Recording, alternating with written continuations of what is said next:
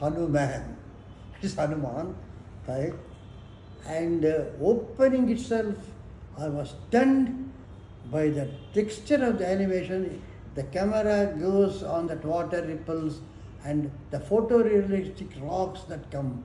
And finally, from this realism, it has come into a very mythological, a, a, a, sort of a feeling of that God Hanuman that you grab in slowly as you grow and the devotional aspect of it, that unspecified what you feel, that has come out.